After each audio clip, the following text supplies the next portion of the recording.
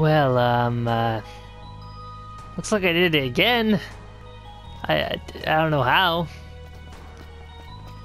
Th- This isn't as bad. I'm pretty sure I can get right out, right? I'm, I'm, I'm sure. Yeah, okay, cool. I can walk right out. Like before, I was I was wondering what the heck I was going on. I was trying to warp strike out, but it seemed like I was stuck or something. But I managed to make it out, and that's cool. I guess. I don't know why I'm recording this bit, but whatever. It's cool. I guess that's it, though. I mean, it, it's nice over here, but getting stuck by warp striking kind of a bad idea.